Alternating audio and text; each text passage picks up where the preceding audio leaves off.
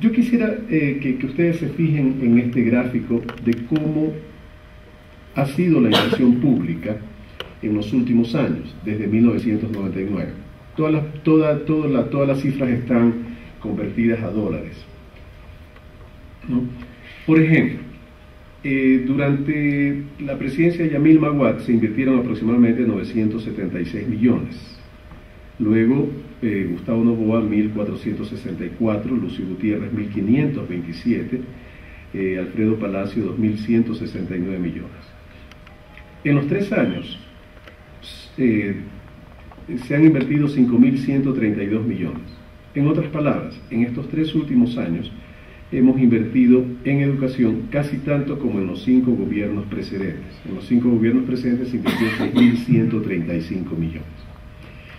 ¿La inversión en educación por sí sola mejora la calidad? No.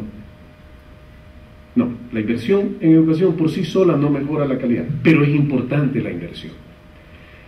Eh, quiero ponerles un ejemplo. Cuando yo asumí el Ministerio de Educación en enero del año eh, eh, para efectos prácticos en enero del año 2006. Eh, los problemas que se enfrentaban eran problemas realmente eh, tristes, conmovedores. Las escuelas, por ejemplo, iban a pedir, los directores de escuelas, que se cambie el techo, que se reparen baterías sanitarias, ver si, si, se reparaban escritorios, etc. Es decir, lo que se pedía eran las cosas elementales, las cosas básicas. Y los problemas que se tenían eran los problemas de la desinversión de tantos años. No son problemas que se han solucionado de ninguna manera. Falta todavía mucho por hacer para poder solucionar estos problemas. Piensen ustedes que nosotros con esta inversión, para ponerles un ejemplo claro, hemos logrado intervenir en alrededor de, en los últimos cuatro años, es decir, los tres años del gobierno del presidente Correa y el año del gobierno del presidente Palacio que estuve a cargo del ministerio y por eso puedo dar las cifras con claridad, hemos logrado intervenir en la infraestructura de aproximadamente 6.000 establecimientos educativos. Pero piensen ustedes que en el sector público estamos hablando de alrededor de 19.000 establecimientos educativos, todos con infraestructura construida eh, algunas décadas atrás, todos con muchos años de funcionamiento y todos con más con mayor o menor necesidad de intervención en su infraestructura. Por eso en algún momento yo les decía a los periodistas en algunas ruedas de prensa, ustedes siempre van a encontrar la foto de una escuela que no está intervenida. Siempre la van a encontrar, por lo menos en los próximos, tal vez seis años más, si es que se sigue teniendo una inversión sostenida de esta naturaleza, después de seis años, podremos decir que ya no vamos a encontrar ese tipo de, eh, de problemas. Pero piensen ustedes que los problemas de, de los años de desinversión son de tal naturaleza que eh, muchos de, de las cuestiones básicas que se supone deben de estar solucionadas no lo estaban y no lo están.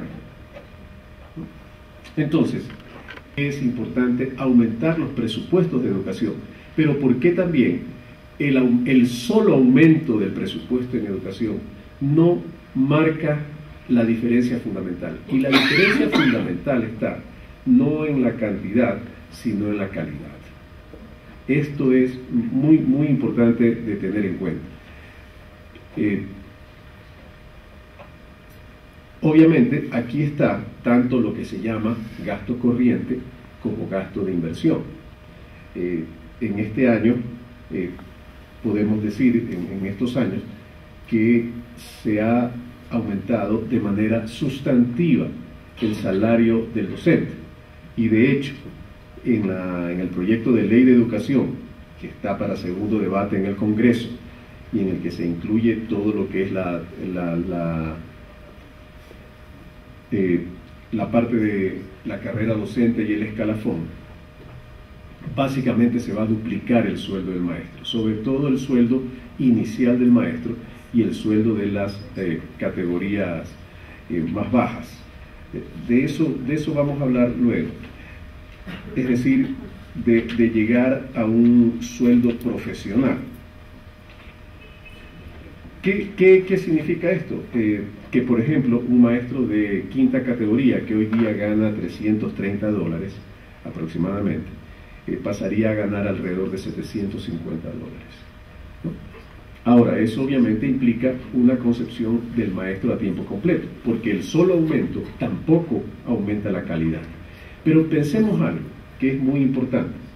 No es posible que en el sector público un maestro que tiene quinta categoría todavía gane menos que un conserje que entra por vía de la, de la eh, LOCEP o LOSCA, la anterior LOSCA, eh, la futura LOCEP, puesto que un conserje entra ganando en esa categoría profesional alrededor de 480 dólares. Y un maestro entra ganando alrededor de 340 dólares. Entonces, no, eh, simplemente ahí hay una inequidad social. Claro, la inequidad está en que eh, todo el salario estaba en una ley especial del magisterio. Y mientras tanto, todo el sector público tenía otra ley. Y esa ley determinaba otras escalas salariales. Entonces, siempre es importante entender que la inversión es absolutamente necesaria, que la inversión tiene que ser eh, dirigida a buscar los equilibrios que hoy señalan la inequidad en el sistema, pero sobre todo que la inversión por sí sola no remedia los problemas de calidad. Para eso se requieren otras acciones. Vamos a ver. Lo primero, eh, dentro de de, lo que es un programa de inversión. Eh, nosotros tenemos que entender que existe necesidad de mejorar la equidad en la educación. La equidad significa buscar equilibrios, o sea, buscar la equidad en la educación, equilibrios básicos. Ustedes saben que las escuelas no tenían presupuesto. ¿Qué quiero decir con esto de aquí? Que los colegios sí tenían presupuesto, sí tienen, tienen un colector, las escuelas no. El presupuesto de las escuelas se manejaba desde la Dirección Provincial de Educación.